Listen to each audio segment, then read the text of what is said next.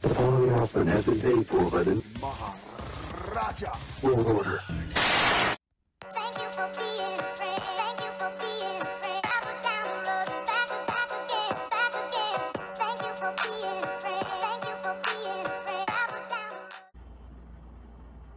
Hey everyone, Goldie here with another look at King Booker.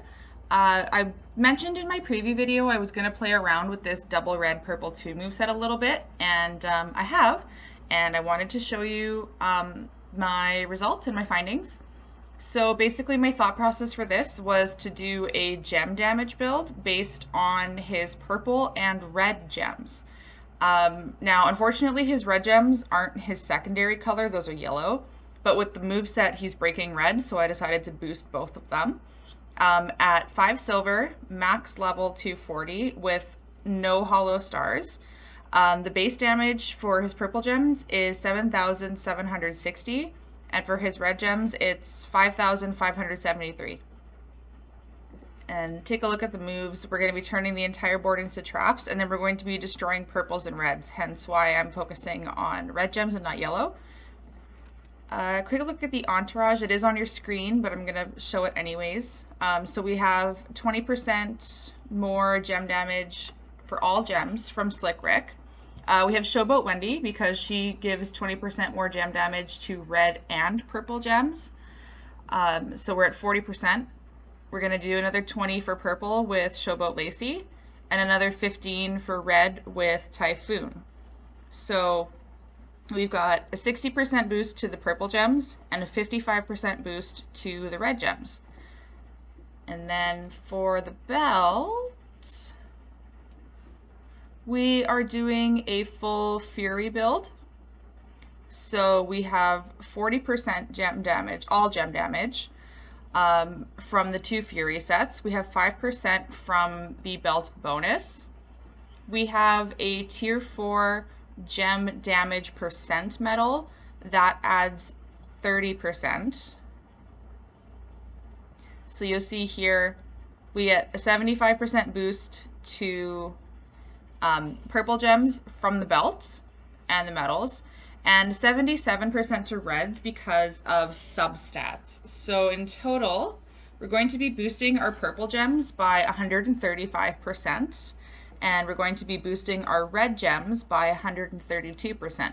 You'll notice I have the um, uh, what the rock is cooking plate, kind of just for funsies.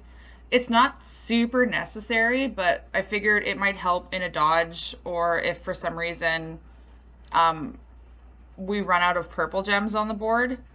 Um, this way we can just keep breaking red gems instead. It'll fill the purple move that breaks red. Um, so if we break two purples and can't fill the purple move, we can break red, fill the purple move, keep breaking red until we have enough purples on the board. Um, so the the game plan for this is going to be um, let's hope we can get the opponent to cascade and see what kind of damage we can get. Um, taking a quick look at the gem damage here. So all strapped up, the purple gems went from 7,760 to 18,200 and the red went from 5,573 to 12,900. Now we are going up against a strapped opponent, so that number is going to reduce. I will be taking that into consideration, and we'll take a peek at what we're actually starting with when the match starts.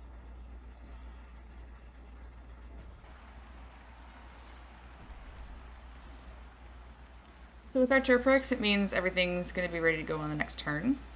So let's just swipe randomly.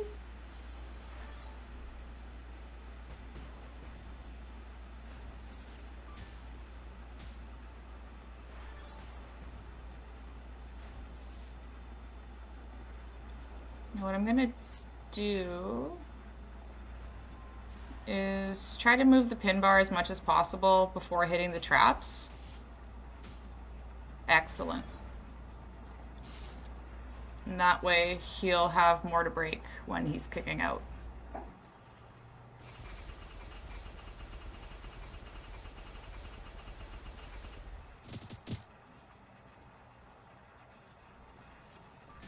Let's do that and freeze them.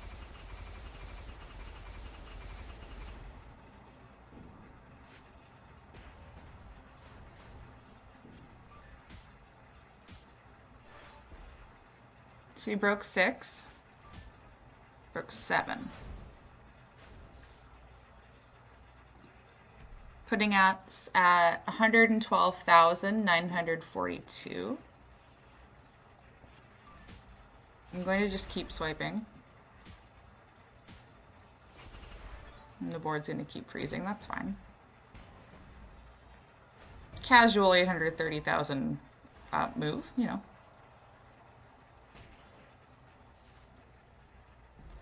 Excellent, tags out.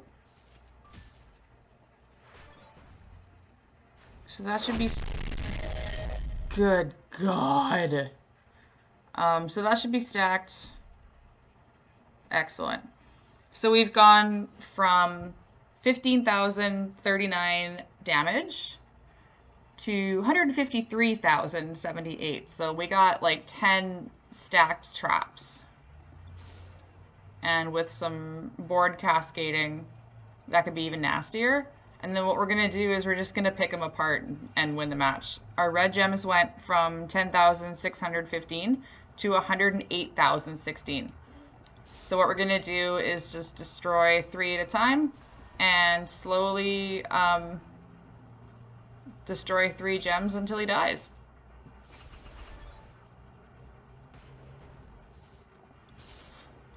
Three hundred something thousand.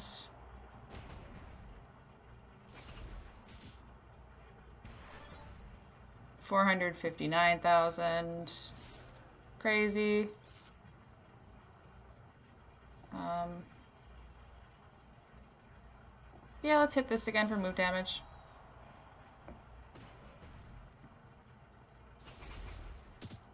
Because, like, the problem with putting on a trainer that destroys more gems is you don't get to bounce between the two moves and just slowly pick them apart, which is the way that I prefer to do this. Yeah, he's done. He's done. Thanks for coming. 1.1 mil.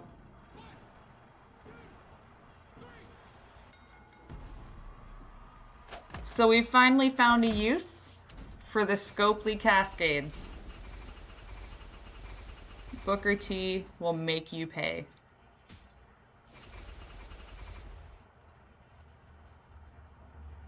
My one gripe is that the animation of turning the entire board into traps and turning the entire board into freeze gems takes too long and it's hard on the eyes. I would prefer just like a blanket animation or like a stamp or something that's just like one motion, stamp the board with the gem modifier. That would be my only suggestion. But um yeah. I need this card on my roster. Thank you very much for taking the time to watch this video. Be sure to like, share with your friends, and subscribe so you're notified when my next gameplay video comes out. Thank you again for watching. Take care.